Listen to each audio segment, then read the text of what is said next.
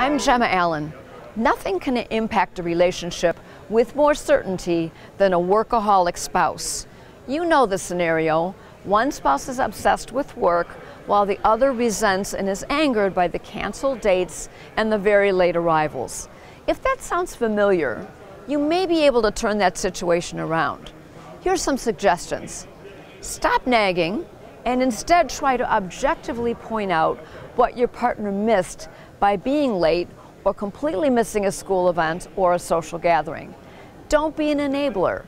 Delaying dinner or keeping the kids up late so they can see their mom or dad probably won't really change their behavior.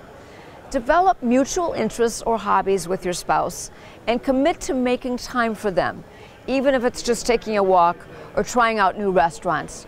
Gently begin to set some boundaries, like declaring Saturday nights date nights immovable or Sundays for family outings also immovable.